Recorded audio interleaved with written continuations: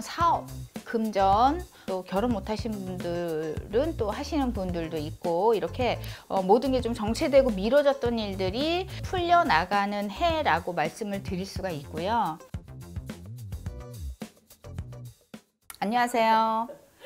이번 이제 영상에서는 현재 2021년도가 소해잖아요. 그렇죠. 소띠분들의 운세를 좀 알아보려고 해요. 자, 오늘은 신축년 2021년도 어, 나이별 어, 이 운세를 말씀드리기 전에 어, 천원사가 부탁드리고 싶은 게 있는데요.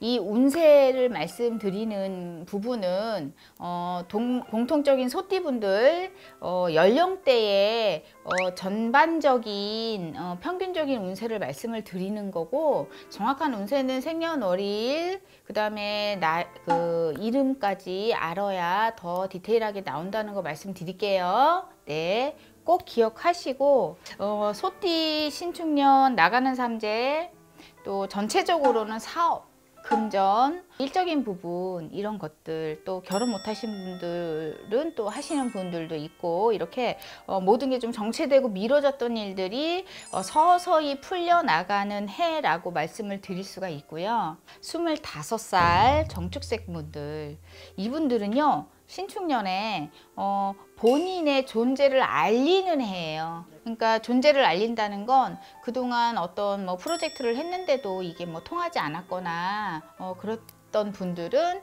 이제 그 일적인 인정을 받고 또 취직을 준비하시는 분들 나를 알리는 거니까 이런 사람이 있다라고 면접을 봐서 취직이 되는 해.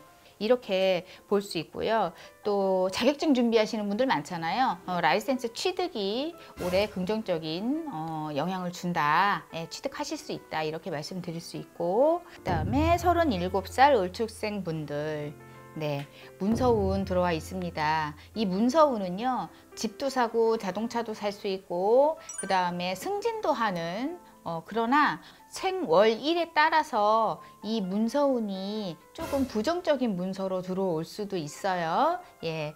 그런 건 좀 감안을 해주시고 그리고 어, 직장이나 일하는 곳에서의 인정을 받는 해라고 보시면 돼요. 예. 그리고 어, 사업을 계획하시는 분들이 있잖아요 요즘에. 어, 젊은 분들도. 예, 사업 시작하셔도 괜찮은 그러나 규모는 너무 크게 벌리지 말라는 거 예, 말씀드릴 수 있고 그 다음에 어, 49살 개축생 분들 대체적으로 보면 개축생 특히 남자분들이요 이 하려는 의지와 노력은 열심히 하시는데 일이 뭔가가 잘 안 풀려요. 어, 지- 그 사람의 이런 돕는 운도 약하고 또 이런 어떤 그 일적인 부분이 자꾸 정체가 되시고 이러시는 분들이 많으셨는데 어, 올해 어, 명예운 생깁니다. 음, 명예.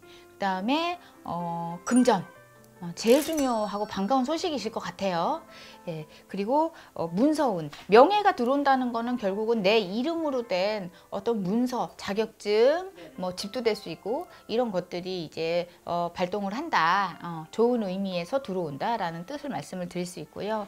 그 다음에 61살 신축생분들 금전 운은 갱- 전체적으로 볼 때는 어, 그냥 평범한 수준입니다. 손해 없고 큰 돈이 뭐 이렇게 뭐 들어오는 그런 것도 아니고 그냥 평범하게 내가 먹을 거 먹고 쓸 수 있는 예, 그런 해고요. 대신 어, 또개 중에는 혼자 되신 분들도 있으실 거 아니에요. 예, 그런 분들은 좋은 인연을 만나는 해이기도 합니다.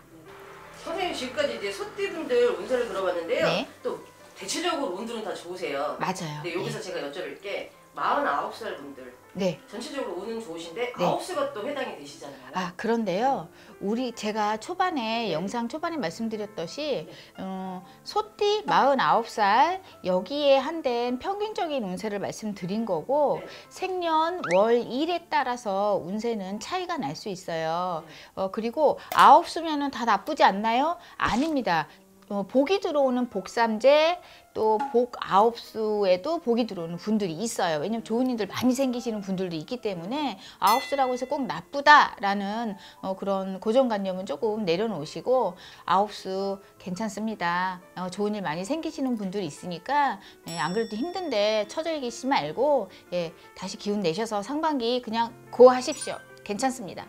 아까 이제 처음에 이제 말씀하실 때 네. 결혼 못 하신 분들, 네. 결혼하시는 또 네. 분이 있다 하셨는데 네, 네. 뭐 사례 경험 같은 게 있으실까요? 어, 모터의 솔로였던 분들이 있어요. 네. 모태 솔로. 근데 어 2000, 2020년도 작년에 41살이 되셨던 분이 오셨어요. 어, 결혼을 하려고 선도 보고 뭐 마음에 드는 사람이 있어서 이렇게 적극적으로 어, 표시도 해보고 했는데 이게 잘 안 된다는 거예요. 어, 어떻게 하면 좋아요? 막 이랬었거든요. 근데 여러분들 결혼 운이 들어온다는 거는요. 그동안 어, 결혼을 못하고 시도를 했음에도 잘 연결이 안 됐다는 건 모든 게 인연법이 있어야 돼요. 때가 돼야 된다는 얘기거든요. 어, 여러분들 조금 늦어지는 분들이 계셔도 좋은 인연, 나한테 긍정적인 영향을 줄 수 있는 인연이 어, 올 것이다 라는 그런 생각을 가지시고 어, 계셨으면 좋겠고 어, 혼자 사시는 분들 사주상에 타고나기를 그런 분들은 그렇게 많지 않습니다.